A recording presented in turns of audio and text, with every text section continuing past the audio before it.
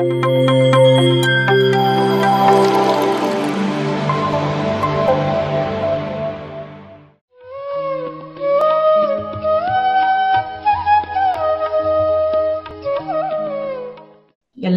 ಶುಭೋದಯ. ನಮ್ಮೆಲ್ಲರ ಪ್ರೀತಿಯ ಗುರುಗಳಾದ ಪೂಜ್ಯ ಬ್ರಹ್ಮರ್ಷಿ ಪಿತಾಮಹ ಭದ್ರೀಜಿಯವರಿಗೆ ನನ್ನ ಶಿರಸಾಷ್ಟಾಂಗ ನಮನಗಳು. ನಾನು ಮೂಲತಃ ವೃತ್ತಿಯಲ್ಲಿ ವೈದ್ಯಲಾಗಿರೋದ್ರಿಂದ ನಮ್ಮ ಶರೀರದ ಅಂಗಾಂಗಗಳು ಯಾವ ರೀತಿ ಇದೆ ಅನ್ನೋದನ್ನು ಸ್ಥೂಲವಾಗಿ ಮತ್ತೆ ಸೂಕ್ಷ್ಮ ಮೈಕ್ರೋಸ್ಕೋಪ್ ನಲ್ಲೂ ಸಹ ನಾವು ನೋಡಿರ್ತೀವಿ. ಅದು ಅನಾರೋಗ್ಯ ಸ್ಥಿತಿ ಇದ್ದಾಗ್ಲೂ ಯಾವ್ಯಾವ ಅಂಗಾಂಗಗಳಲ್ಲಿ ಏನೇನ್ ಬದಲಾವಣೆ ಆಗಿರುತ್ತೆ ಅನ್ನೋದು ಸಹ ನಾವು ಓದಿರ್ತೀವಿ, ಅಧ್ಯಯನ ಮಾಡಿರ್ತೀವಿ ವ್ಯಾಸಂಗ ನಮ್ಮ ವೈದ್ಯಕೀಯ ವ್ಯಾಸಂಗದಲ್ಲಿ. ಅದನ್ನ ಮೈಕ್ರೋಸ್ಕೋಪ್ ಅಲ್ಲಿ ಕೂಡ ನೋಡಿರ್ತೀವಿ. ಅದಾದ ನಂತರ ನಾವು ಅಂತಹದ್ದೇ ಆ, ಹಲವಾರು ರೋಗಿಗಳನ್ನ ಸಹ ಚಿಕಿತ್ಸೆ ನೀಡಿರ್ತೀವಿ. ಹಾಗಾಗಿ ಈ ಧ್ಯಾನ ಮತ್ತು ಈ ಉಸಿರು, ಇದರ ಅವಿನಾಭಾವ ಸಂಬಂಧ ಹಾಗೆಯೇ ಈ ಒಂದು ನಾವೇನು ವೈ, ವೈದ್ಯಕೀಯವಾಗಿ, ವೈಜ್ಞಾನಿಕವಾಗಿ ನಾವು ಈ ಶ್ವಾಸದ ಬಗ್ಗೆ ಏನ್ ತಿಳ್ಕೊಂಡಿದೀವೋ, ಅದಕ್ಕೂ ಈ ಧ್ಯಾನಕ್ಕೂ ಯಾವ ರೀತಿ ಸಂಬಂಧ ಇದೆ? ಕೇವಲ ಶ್ವಾಸ ಗಮನಿಸೋದ್ರಿಂದ ಇಷ್ಟೆಲ್ಲ ಆಗತ್ತಾ ಅನ್ನುವಂತಹದ್ದನ್ನ ಯಾವ ರೀತಿ ಜೋಡಣೆ ಮಾಡಿದ್ದಾರೆ ಅಂದ್ರೆ, ಆ, ಯೋ ಸೈನ್ಸ್ ಆಫ್ ಬ್ರೆತ್ ಅನ್ನುವಂತಹ ಪುಸ್ತಕವನ್ನು ಸಾವಿರದ ಒಂಬೈನೂರ ಹದಿನಾಲ್ಕನೇ ಇಸ್ವಿನಲ್ಲೇ ಯೋಗಿ ರಾಮಚರಕ ಅನ್ನುವಂತಹ ಮಹಾನ್ ಸಾಧಕರು ಬರೆದಿದ್ದಾರೆ, ರಚಿಸಿದ್ದಾರೆ. ಬರೆದಿದ್ದಾರೆ ಅಂದ್ರೆ ತಪ್ಪು. ರಚಿಸಿದ್ದಾರೆ. ಆ ಪುಸ್ತಕವನ್ನು ಸಹ ನನಗೆ ಶ್ರೀಯುತ ಹರಿಶಂಕರ್ ಸರ್ ಅವರೇ ಪರಿಚಯ ಮಾಡಿಕೊಟ್ಟಿದ್ದು. ಅವರಿಗೆ ಆ ವಿಷ, ಪುಸ್ತಕದ ವಿಷಯ ಗೊತ್ತಾದ ನಂತರ ಅದನ್ನ ಕೆಲವು ಒಂದೆರಡು ಪುಟಗಳನ್ನಷ್ಟೇ ಅವರು ಓದಿ ನಂತರ ನನಗೆ ಅದನ್ನ ಪರಿಚಯ ಮಾಡಿ ಕೊಟ್ರು. ಇದರಲ್ಲಿ ವೈದ್ಯಕೀಯ ವಿಷಯಗಳೇ ಜಾಸ್ತಿ ಇರೋದ್ರಿಂದ ಇದನ್ನ ನೀವೇ ಓದ್ಬಿಟ್ಟು ತಿಳಿಸ್ಕೊಡಿ ಅನ್ನುವಂತಹ ವಿಷಯನ ಎರಡು ವರ್ಷಗಳ ಹಿಂದೆ ನನಗೆ ತಿಳಿಸಿದ್ವಿ ಆಗ ನಾನು ಕರ್ನಾಟಕ ಧ್ಯಾನ ಪ್ರಗತಿ ಪರಿಷತ್ ವೇದಿಕೆಯಲ್ಲಿ ಮೊದಲು ಇದನ್ನ ತಿಳಿಸ್ಕೊಡ್ತಾ ಬಂದೆ. ಅದನ್ನ ಓದುವಾಗ ಯಾವ ರೀತಿ ಅನ್ನಿಸ್ತು ಅಂದ್ರೆ ನನಗೆ ನಾವು ನಾಲ್ಕೂವರೆ ವರ್ಷ ವ್ಯಾಸಂಗ ಮಾಡ್ತೀವಿ. ಅದನ್ನ ನಂತರ ಒಂದು ವರ್ಷ ಒಂದು ಇಂಟರ್ನ್ಶಿಪ್ ಅಂತಲೂ ಮಾಡ್ತೀವಿ. ಅಷ್ಟು ವರ್ಷಗಳಲ್ಲಿ ನಾವು ಶ್ವಾಸಕೋಶದ ಕುರಿತಾಗಿ ಮೊದಲು ರಚನೆ, ಅದರ ಕಾರ್ಯವೈಖರಿ, ಆಮೇಲೆ ಅನಾರೋಗ್ಯ ಸ್ಥಿತಿ, ರೋಗಿಗಳು, ಎಲ್ಲಾ ವಿಷಯಗಳನ್ನು ನಾವು ವ್ಯಾಸಂಗ ಮಾಡಿದ್ರು, ಅಧ್ಯಯನ ಮಾಡಿದ್ರು ಸಹ, ಇದರಲ್ಲಿ ತಿಳಿಸಿದಂತಹ ಅತ್ಯಂತ ಸೂಕ್ಷ್ಮವಾದ ವಿಷಯಗಳನ್ನ ನಾನು ನನ್ನ ವ್ಯಾಸಂಗದ ಅವಧಿಯಲ್ಲಿ ನಾನು ತಿಳ್ಕೊಂಡಿರ್ಲಿಲ್ಲ. ಅದನ್ನು ಓದ್ತಾ ಓದ್ತಾ ಅತ್ಯಂತ ಆಶ್ಚರ್ಯ ಆಯ್ತು ನನಗೆ. ಒಬ್ಬ ಇಷ್ಟು ನೂರಾರು, ನೂರು ವರ್ಷಗಳ ಹಿಂದೆನೆ ಇಷ್ಟೊಂದು ವಿಷಯಗಳನ್ನ ಎಷ್ಟು ವಿವರಣೆ ಕೊಟ್ಟಿದ್ದಾರೆ ಅಂದ್ರೆ ಅಲ್ಲಿ ಓದ್ತಾ ಇದ್ರೆ ಕೇವಲ ಆಶ್ಚರ್ಯ ಅಷ್ಟೇ ಆಗತ್ತೆ. ಮತ್ತೆ ನಮ್ಮ ಶರೀರದ ಅದ್ಭುತತೆ ಬಗ್ಗೆ ನಮಗೆ ಮತ್ತಷ್ಟು ಗೌರವ, ಪ್ರೇಮ ಭಾವನೆ ಮೂಡುತ್ತೆ ನಮ್ಮೆಲ್ರಿಗೂ. ಯಾವ ರೀತಿ ನಾವು ಈ ಧ್ಯಾನದಲ್ಲಿ ಈಗಾಗಲೇ ಇಲ್ಲಿರುವ ಎಲ್ಲಾ ಧ್ಯಾನಾಸಕ್ತರಿಗೂ ಸಹ ನಾನು ಮತ್ತೊಮ್ಮೆ ನಮನಗಳು ಹಾಗೂ ಧನ್ಯವಾದಗಳನ್ನು ತಿಳಿಸ್ತೀನಿ. ಏಕೆಂದ್ರೆ ಇಂತಹ ವಿಷಯಗಳನ್ನ ತಿಳಿದುಕೊಂಡಾಗ ನಾವು ಈ ಧ್ಯಾನದಲ್ಲಿ ಖಂಡಿತ ಖಂಡಿತ ನಾವು ಮುಂದುವರಿತೀವಿ. ಅದನ್ನ ಅದರಲ್ಲಿ ಇನ್ನಷ್ಟು ಗೌರವ, ಧನ್ಯತೆ, ಕೃತಜ್ಞತಾ ಭಾವಗಳು ನಮ್ಮಲ್ಲಿ ಹೊರಹೊಮ್ಮತ್ತೆ. ಧ್ಯಾನವನ್ನು ಪ್ರತಿದಿನ ಅಭ್ಯಾಸ ಮಾಡ್ಲೇಬೇಕೆಂಬ ಒಂದು ಸಂಕಲ್ಪ. ಧ್ಯಾನ ಮಾಡುವಾಗ ಸಂಕಲ್ಪ ಬೇಡ. ಧ್ಯಾನ ಅಭ್ಯಾಸಕ್ಕಾಗಿ ನಾವು ಸಂಕಲ್ಪ ಮಾಡ್ಬಿಡ್ತೀವಿ. ಇಂತಹ ಒಂದು ಪುಸ್ತಕದ ವಿಷಯವನ್ನು ತಿಳಿಸ್ಕೊಡಿ ಅಂತ ಹೇಳಿದಾಗ ನಿಜವಾಗ್ಲೂ ಸಂತೋಷ ಆಯ್ತು. ಪಿ ಎಂ ಸಿ ಕನ್ನಡ ವಾಹಿನಿಗೆ ನಾನು ಮೊಟ್ಟ ಮೊದಲನೇದಾಗಿ ಈ ಕುರಿತಾಗಿ ಅತ್ಯಂತ ಧನ್ಯವಾದಗಳನ್ನ ತಿಳಿಸಲು ಇಚ್ಛೆ ಪಡ್ತೀನಿ ಧ್ಯಾನ ಅಂದ್ರೆ ಏನು? ಸರ್, ಈಗಾಗಲೇ ತಿಳಿಸ್ಕೊಟ್ಟಿದ್ದಾರೆ. ಕೆಲವು ಅಂಶಗಳನ್ನ ಎತ್ಕೊಂತಲೂ ಒಂದು ವೈಜ್ಞಾನಿಕ ವಿಷಯಕ್ಕೆ ಹೋಗಕ್ ಮುಂಚೆ ಒಂದು ಸಣ್ಣ ಪರಿಚಯ ಧ್ಯಾನದ ಬಗ್ಗೆ. ಇದನ್ನ ಅತ್ಯಂತ ವಿವರವಾಗಿ ಸರ್ ಮತ್ತೆ ಮೇಡಮ್ ತಿಳಿಸಿದ್ದಾರೆ. ಆದ್ರೂ ಸಹ, ಧ್ಯಾನ ಅಂದ್ರೆ ಏನು? ಧ್ಯಾನಕ್ಕೆ ತಿಳಿಸ್ತಾ ಹೋಗ್ತೀವಿ ಧ್ಯಾನವನ್ನು ನಾವು ಮಾಡೋದಲ್ಲ, ಅದು ತಾನಾಗೆ ಘಟಿಸುವಂಥದ್ದು. ನಾವು ಕೇವಲ ಅಭ್ಯಾಸ ಮಾಡ್ತಿರ್ತೀವಿ, ಅಭ್ಯಾಸಕ್ಕೆ ಕುಳಿತುಕೋತೀವಿ, ಆದ್ರೆ ಧ್ಯಾನ ತಾನಾಗೆ ಘಟಿಸುವಂಥದ್ದು. ಘಟಿಸುವಂಥದ್ದು ಅಂದ್ರೆ ಏನು? ಈಗಾಗಲೇ ನನ್ನೊಳಗೆ ಇದೆಯಾ ಅದು? ನನ್ನ ಸಹಜ ಸ್ವಭಾವವ ಅಂತ ಬರುತ್ತೆ. ಮಾಡೋದು ಅಂತಾದ್ರೆ ನನ್ನಲ್ಲಿ ಏನೂ ಇಲ್ಲ, ಅದನ್ನ ನಾನು ಅಳವಡಿಸ್ಕೋಬೇಕು, ಅದ್ ನಾನು ಮಾಡ್ಬೇಕು. ಘಟಿಸೋದು ಅಂದ್ರೆ ಈಗಾಗ್ಲೇ ನಾವು ಮಾಡೋದಿದೆ ಇದಕ್ಕೆ ತಿಳಿಸೋದು meditation is a nature mind is new ಧ್ಯಾನ ಅನ್ನುವಂಥದ್ದು ಸಹಜವಾದದ್ದು, ನನ್ನ ಸಹಜತೆ. ಆದ್ರೆ ಈ ಮನಸ್ಸು ಅನ್ನೋದಿದೆಯಲ್ಲ, ಇದು ಹೊಸದಾಗಿ ಸೇರ್ಪಡೆಗೊಂಡಿರುವಂಥದ್ದು. ಈ ವಿಕಾಸದಲ್ಲಿ, ಸೃಷ್ಟಿಯ ವಿಕಾಸದಲ್ಲಿ ನಾವು ಹಲವಾರು ಹಂತಗಳನ್ನ ದಾಟಿ ಈಗ ಮಾನವರಾಗಿದ್ದೇವೆ. ಮೊದಲು ಖನಿಜ ಸಾಮ್ರಾಜ್ಯ, ನಂತರ ಸಸ್ಯ ಸಮೂಹ, ನಂತರ ಪ್ರಾಣಿ ಸಮೂಹ, ನಂತರ ಈಗ ಕೊನೆಯದಾಗಿ ಮಾನವರ ಈ ಖನಿಜದಿಂದ ಸಸ್ಯ ಸಮೂಹ, ಸಸ್ಯದಿಂದ ಪ್ರಾಣಿ ಸಮೂಹ, ಪ್ರಾಣಿಯಿಂದ ಮಾನವನಾಗುವುದು, ಇದು ಒಂಥರ ಸಾಮೂಹಿಕ ವಿಕಾಸ. ಎಲ್ರಿಗೂ ಒಟ್ಟೊಟ್ಟಿಗೆ ಆಗುವಂತಹ ವಿಕಾಸ. ಪ್ರಕೃತಿಯಲ್ಲಿ ನಾನೇನು ವೈಯಕ್ತಿಕವಾಗಿ ನಾನೇನು ತೊಡಗಿಸ್ಕೊಳ್ಳೋದು ಅಥವಾ ಸಾಧನೆಯಲ್ಲಿರೋದು ಬೇಕಾಗಿಲ್ಲ. ಒಂದು ಪ್ರವರ್ಗ ಅಥವಾ ಒಂದು ಸ್ಪೀಶೀಸ್ ಆಫ್ ಪ್ರಾಣಿ ಅಲ್ಲಿಂದ ಮುಂದಿನ ಹಂತಕ್ಕೆ ತಾನಾಗಿ ಸಾಮೂಹಿಕವಾಗಿ ಈ ಪ್ರಕೃತಿಯಲ್ಲಿ ನೈಸರ್ಗಿಕವಾಗಿ ನಡೆದು ಹೋಗುತ್ತೆ. ಇದಕ್ಕೆ ಯಾರ್ದು ವೈಯಕ್ತಿಕ ಒಂದು ಶ್ರಮ ವಹಿಸೋದಕ್ಕೆ ಬೇಕಾಗಿಲ್ಲ.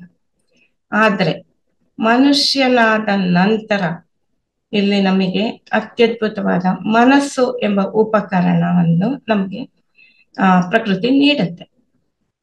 ಒಂದು ಅತ್ಯದ್ಭುತವಾದ ವಾಸ್ತುಶಿಲ್ಪಿ ನಮ್ಮ ಪ್ರಕೃತಿ. ಇದು ನಮ್ಮ ವಿಕಾಸ ಆಗಿದೆ. ಈ ಮನುಷ್ಯನಿಗೆ ಈ ಉಪಕರಣ ಕೊಡಬಹುದು ಅಂತ ಇದನ್ನ ನಮಗೆ ಒಂದು ಉಡುಗೊರೆಯಾಗಿ ಕೊಟ್ಟಿರ್ತಾರೆ. ಮನಸ್ಸು ಎಂಬ ಪದದಿಂದಲೇ ಮನುಷ್ಯ ಅಥವಾ ಮಾನವ ಅನ್ನುವಂಥದ್ದು ಸಹ ಬಂದಿರುವಂಥದ್ದು. ಆದ್ರೆ ಈ ಮನಸ್ಸನ್ನ ನಾವು ಒಂದು ಉಪಕರಣವಾಗಿ ನಾನು ಅದನ್ನ ಉಪಯೋಗಿಸ್ಕೋಬೇಕೆ ಹೊರತು ಮನಸ್ಸು ನನ್ನನ್ನು ಉಪಯೋಗಿಸ್ಕೊಳಕ್ಕೆ ಬಿಡಬಾರ್ದು. ಒಂದು ಅತ್ಯಂತ ಪ್ರಮುಖವಾದ ಒಂದು ಕೋಟ್ ಇದೆ. ಅಂದ್ರೆ ಒಂದು ಸೂಕ್ತಿ ಅಥವಾ ಲೋಕೋಕ್ತಿ ಅಥವಾ ನಾಣ್ಣುಡಿ ಅಂತ ನಾವೇನ್ ಹೇಳ್ತೀವೋ ಅದು.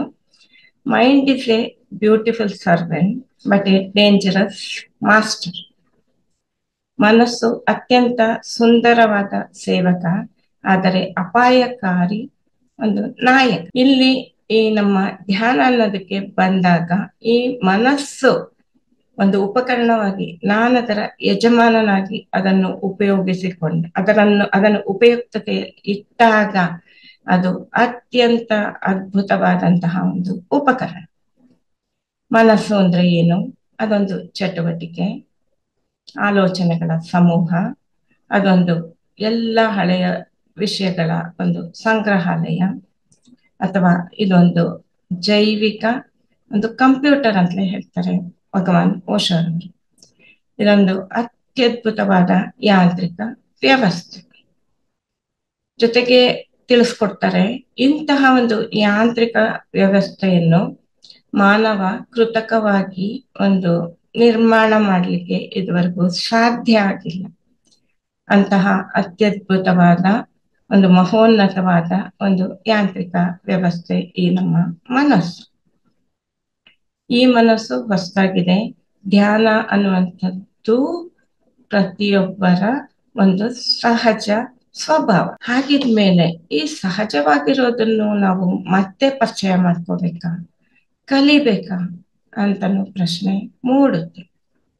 ಏಕೆಂದ್ರೆ ಈ ಮನಸ್ಸು ಬಂದ್ಮೇಲೆ ಈ ಸಹಜ ಸ್ವಭಾವವಾದ ಧ್ಯಾನ ಅದನ್ನು ಪೂರ್ಣವಾಗಿ ಮುಚ್ಚಿಬಿಟ್ಟಿದೆ. ಅಂದ್ರೆ ನಾನೇ ಆ ಮನಸ್ಸಲ್ಲ, ಆ ಮನಸ್ಸನ್ನೇ ಯಜಮಾನ ಮಾಡಿದಾಗ ಅದು ನನ್ನ ಧ್ಯಾನ ಸ್ಥಿತಿಯನ್ನ ಪೂರ್ತಿ ಆವರಿಸ್ಕೊಂಡ್ಬಿಡುತ್ತೆ, ಮುಚ್ಚಿಬಿಡುತ್ತೆ.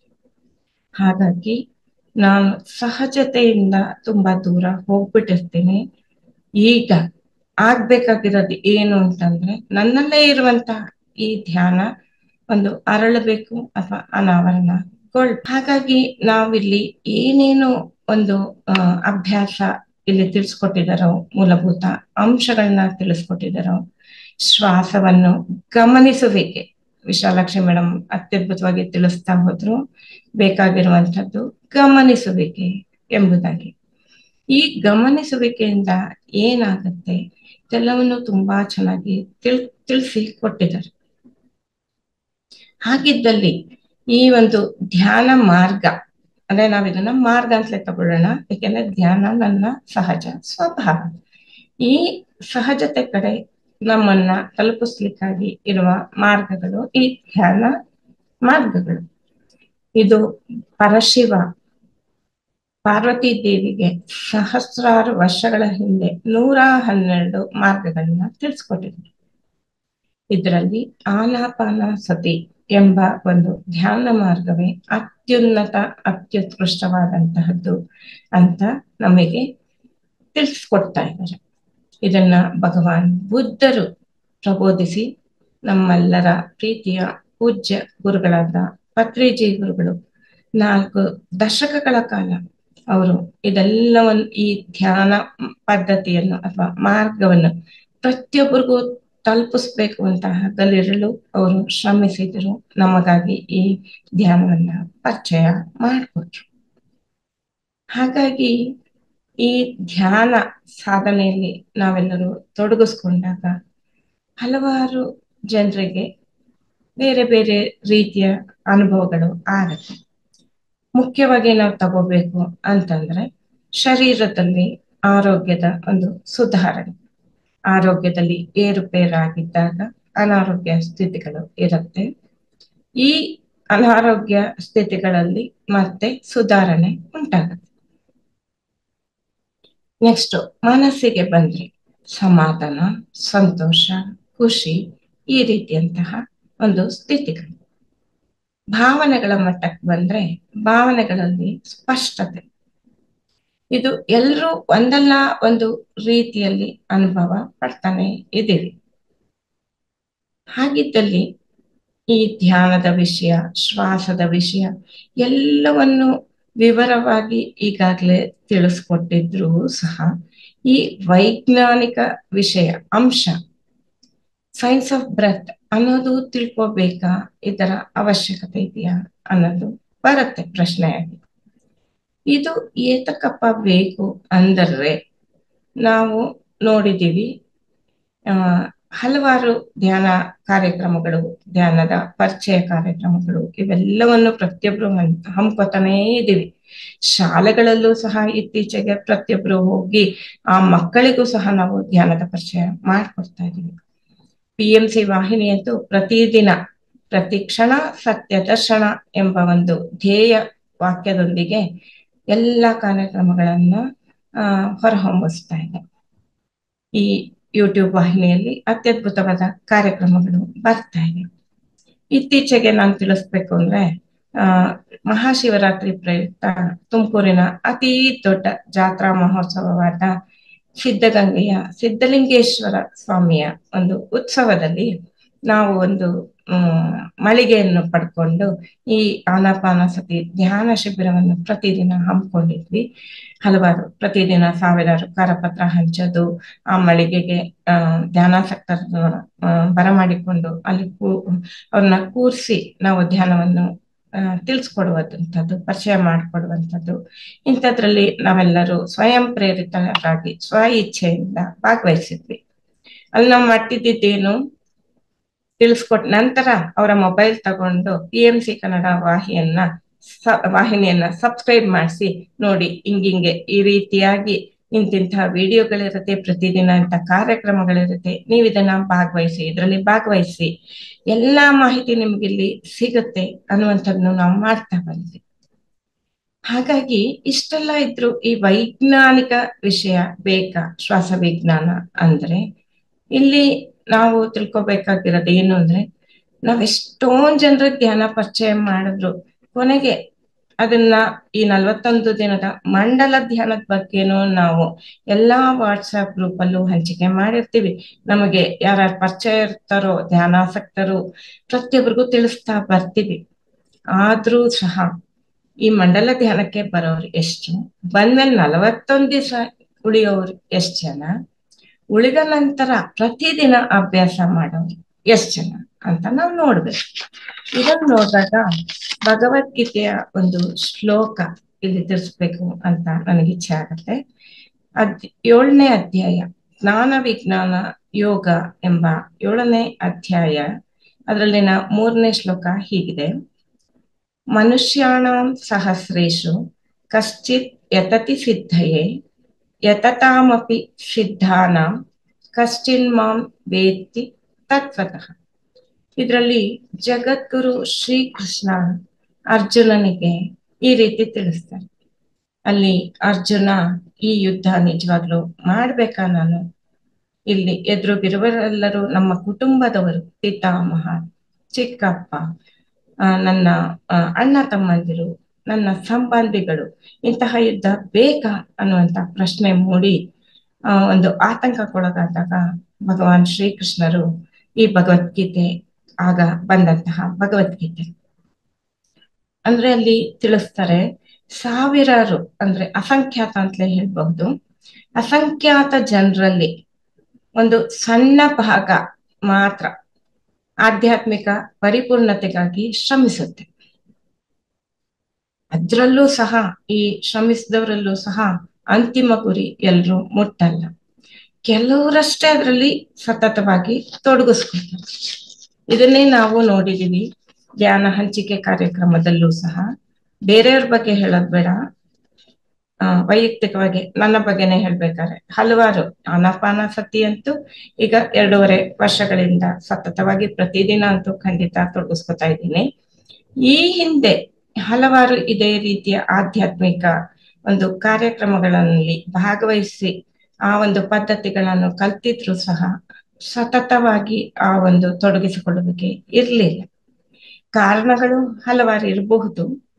ಹಾಗಾಗಿ ಈಗ ಮಕ್ಕಳಿಗೆ ಆಗ್ಲಿ ನಾವು ಏನಾದ್ರೂ ಒಂದು ವಿಷಯ ಈ ರೀತಿ ಮಾಡ್ಬೇಕು, ಈ ರೀತಿ ಇರಬೇಕು ಅಂದ್ರೆ ಅದಕ್ಕೆ ಕಾರಣ ಕೇಳ್ತಾರೆ. ಏತಕ್ಕಾಗಿ ಇದರ ಹಿಂದಿನ ಒಂದು ಉದ್ದೇಶ ಏನು? ಇದರ ಮಹತ್ವ ಏನು? ಎಲ್ಲವನ್ನು ಕೇಳ್ತಾರೆ. ನಾವದನ್ನ ಸಮರ್ಪಕವಾಗಿ ಸರಿಯಾಗಿ ಅವರು ಅವರ ಮಟ್ಟಕ್ಕೆ, ಆ ಮಕ್ಕಳ ಒಂದು ಹಂತದಲ್ಲಿ ನಾವು ನಿಂತು ಅದನ್ನ ಅವರಿಗೆ ತಿಳಿಸ್ಕೊಟ್ಟಾಗ ಅವರು ಅದನ್ನ ಮಾಡುವ ಸಾಧ್ಯತೆಗಳು ಹೆಚ್ಚು. ಅದೇ ರೀತಿ ಈ ಧ್ಯಾನ ಹಾಗೂ ಉಸಿರಾಟದ ಮಹತ್ವವನ್ನು ನಾವು ವೈಜ್ಞಾನಿಕ ಹಿನ್ನೆಲೆಯಲ್ಲಿ ತಿಳಿಸಿಕೊಟ್ಟಾಗ ಖಂಡಿತವಾಗಿಯೂ ಇದರಲ್ಲಿ ಆಸಕ್ತಿ ಮೂಡುತ್ತೆ. ಹಾಗೂ ಧನ್ಯತಾ ಭಾವ ಖಂಡಿತ ಖಂಡಿತ ಪ್ರತಿಯೊಬ್ಬರಲ್ಲೂ ಬರುತ್ತೆ. ಹಾಗಾಗಿಯೇ ಈ ಸೈನ್ಸ್ ಆಫ್ ಬ್ರೆತ್ ಅನ್ನುವಂಥದ್ದು ಅತ್ಯದ್ಭುತವಾದ ಒಂದು ವಿಷಯ. ನಮ್ಮ ಶರೀರ, ನಮ್ಮ ಶ್ವಾಸ, ನಮ್ಮ ಸಹಜತೆ ಯಾವ ರೀತಿ ಇದೆ ಅನ್ನೋದನ್ನು ತಿಳಿದುಕೊಳ್ಳಲಿಕ್ಕೆ ಅತ್ಯುನ್ನತವಾದ ಮಾರ್ಗ. ಇದರಲ್ಲಿ ನಾವು ಇರುವಂತಹ ಯೋಗಿ ರಾಮಚರಕ ಅನ್ನುವಂತಹ ಮಹಾನ್ ಸಾಧಕರು ತಿಳಿಸಿಕೊಟ್ಟಿರುವ ಎಲ್ಲಾ ಅಂಶಗಳನ್ನು ನಾವು ಎಷ್ಟು ಸಾಧ್ಯನೋ ಅಷ್ಟು ವೈದ್ಯಕೀಯ ಅಥವಾ ವೈಜ್ಞಾನಿಕ ಭಾಷೆಯನ್ನೇ ಸರಳೀಕರಿಸಿ ಈ ವೇದಿಕೆಯಲ್ಲಿ ನಾನು ತಿಳಿಸುವಂತಹ ಪ್ರಯತ್ನ ಮಾಡ್ತೀನಿ. ಯಾಕೆಂದ್ರೆ ಈ ಆಧ್ಯಾತ್ಮಿಕತೆ ಅನ್ನುವಂತಹದ್ದು ನಿಗೂಢವಾದದ್ದು. ಕಣ್ಣಿಗೆ ಕಾಣುವ ಈ ಪ್ರಾಪಂಚಿಕತೆಯ ರೀತಿ ಅಲ್ಲ. ಜೊತೆಗೆ ಹೊರಗಡೆ ಪ್ರಪಂಚದಲ್ಲಾದ್ರೆ ನಾವು ಯಾವ್ದಾದ್ರು ಒಂದು ಪ್ರಯೋಗನೋ, ಯಾವ್ದೋ ಒಂದು ವಿಷಯನೋ ತಿಳಿಸ್, ನಾವು ಪ್ರಾಪಂಚಿಕ ವಿಷಯ ಹೇಗಿರುತ್ತೇವೆ ಮೊದಲು ನಾವು ತಿಳ್ಕೊತೀವಿ, ಆಮೇಲೆ ಅದನ್ನ ಆಚರಣೆಗೆ ತರ್ತೀವಿ. ಒಂದು ಏನು ಸರಳವಾದ, ಸುಲಭವಾದ ಒಂದು ಉದಾಹರಣೆ ತಗೋಬೇಕು ಅಂದ್ರೆ ಯಾವ್ದಾದ್ರು ಒಂದು ಅಡಿಗೆ. ಹೊಸದಾದ ಇರ್ಬೋದು ಅಥವಾ ಯಾವುದೇ ಒಂದು ಮಾಡ್ಬೇಕು ಅನ್ನೋ ನಾವೇನ್ ಮಾಡ್ತೀವಿ? ಅದರಲ್ಲಿ ಒಂದು ನೈಪುಣ್ಯತೆ ಇರುವವ್ರನ್ನ ಕೇಳ್ತೀವಿ, ಅವ್ರು ತಿಳಿಸ್ಕೊಡ್ತಾರೆ. ಅಥವಾ ಪುಸ್ತಕಗಳಲ್ಲಿ ಓದ್ತೀವಿ, ಅಥವಾ ಈಗಂತೂ ಯೂಟ್ಯೂಬ್ನಲ್ಲಿ ದೂರದರ್ಶನದಲ್ಲೂ ಸಹ ಆ ಕಾರ್ಯಕ್ರಮಗಳು. ಮೊದಲು ಅದ್ರ ಬಗ್ಗೆ ಎಲ್ಲ ಮಾಹಿತಿ ಪಡ್ಕೋತೀವಿ. ಆಮೇಲೆ ಅದನ್ನ ಆಚರಣೆಗೆ ತರ್ತೀವಿ. ಆದರೆ ಆಧ್ಯಾತ್ಮಿಕತೆಯಲ್ಲಿ ಮೊದಲು ಆಚರಣೆಗಿಡ್ಬೇಕು ಅದನ್ನ ಸ್ವ ಅನುಭವ ಪಡಿಬೇಕು. ಆಮೇಲಷ್ಟೇ ಅದು ನನಗೆ ಒಂದು ತಿಳುವಳಿಕೆ ಆಗತ್ತೆ. ಇದು ಎರಡು ವಿರುದ್ಧವಾದಂತಹ ರೀತಿಯಲ್ಲಿ ಹೋಗುವಂತಹ ವಿಷಯಗಳು. ಆಧ್ಯಾತ್ಮಿಕತೆಯನ್ನು ಮನಸ್ಸಿನಿಂದ ಅರ್ಥ ಮಾಡ್ಕೋಬಾರ್ದು. ಏಕೆಂದ್ರೆ ನಮಗೆ ಗೊತ್ತಿರುವ ಮನಸ್ಸು ಕೇವಲ ಅಲ್ಪ ಮನಸ್ಸು.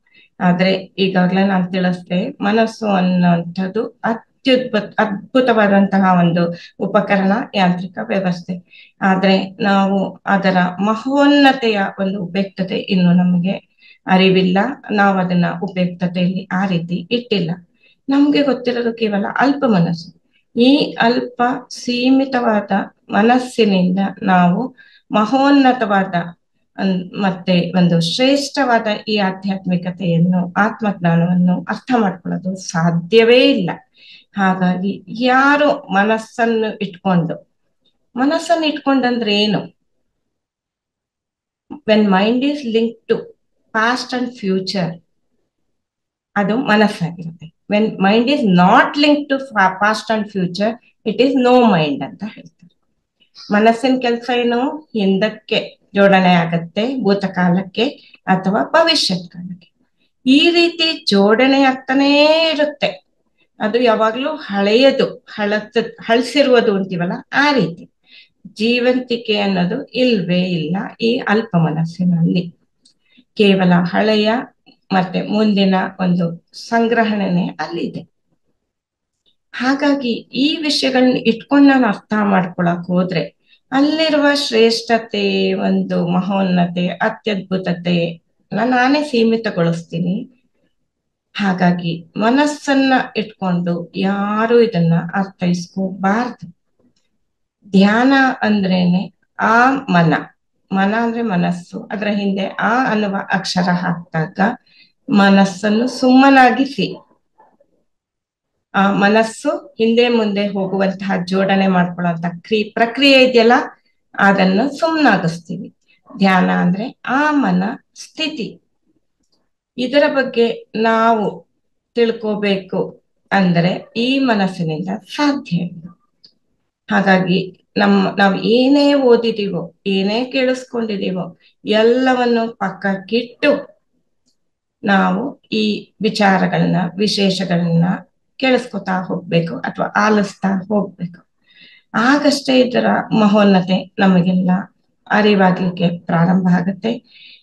ಧ್ಯಾನ ಅನ್ನೋದು ಒಂದು, ಏನೋ ಒಂದು ನನ್ನಲ್ಲಿ ಹೊಸದಾದ ಒಂದು ಕೌಶಲ್ಯತೆ ಅಥವಾ ವಿದ್ಯೆಯನ್ನ ನಾನು ಕಲ್ತ್ಕೊಳ್ಳೋದು, ಸೇರ್ಪಡೆ ಮಾಡೋದು ಖಂಡಿತ ಅಲ್ಲ. ಅದೀಗಾಗ್ಲೇ ಸಹಜವಾಗಿ ನನ್ನಲ್ಲಿದೆ. ಅದು ಘಟಿಸುತ್ತೆ.